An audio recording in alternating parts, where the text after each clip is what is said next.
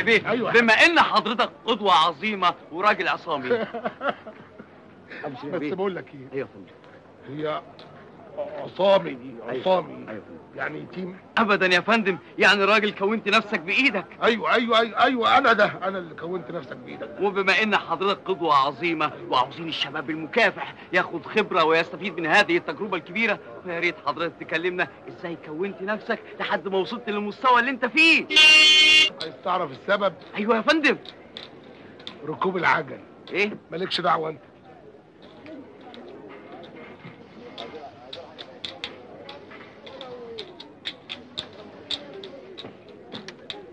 مساء الفل. إيه ده كله يا أبو سرير؟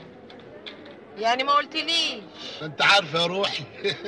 أمال إحنا بنرسم ليه؟ بس أنت كده فتحتها على البحر. هتغطي ده كله منين؟ ما هو البركة فيكي بقى حلوة. مم. يعني أنت بعت لي عشان كده. صاحبك مزنوق في عشرين ألف دولار. لازم أدفعهم كمان أسبوع.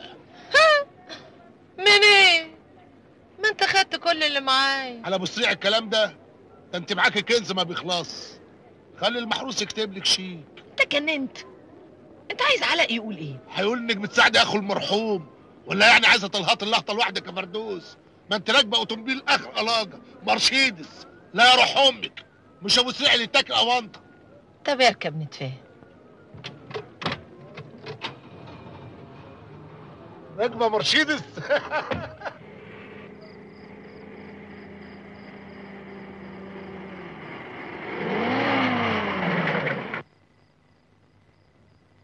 صدقني علاء بيحاسبني بالمليم. أنا ما يلزمنيش ملاليم.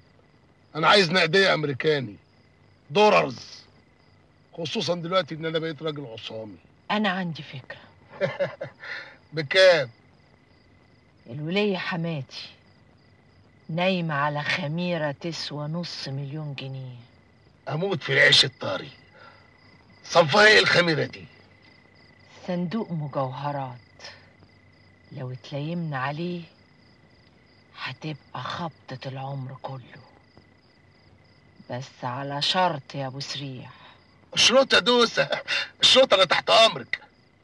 مفيش خيانة بينا. يعني النص بالنص. عيب يا دوسة. انت عارف ان أنا راجل دغري طول عمري. عمري ما ما جرت على حق حرمة. مم. انت هتقولي نخش بقى في المفيد. إيه بقى الترتيب؟ بكرة الساعة واحدة بالليل هسيب لك باب المطبخ مفتوح.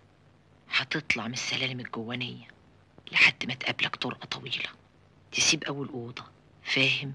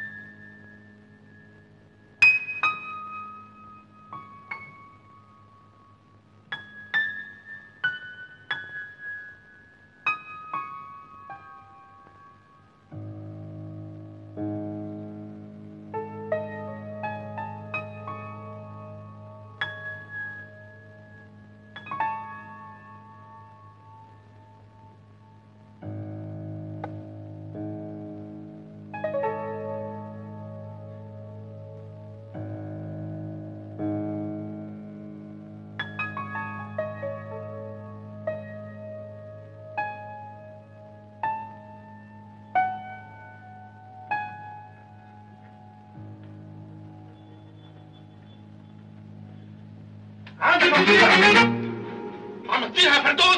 دي يا فردوس. اتفضل معانا يا أستاذ علاء نعمل المحضر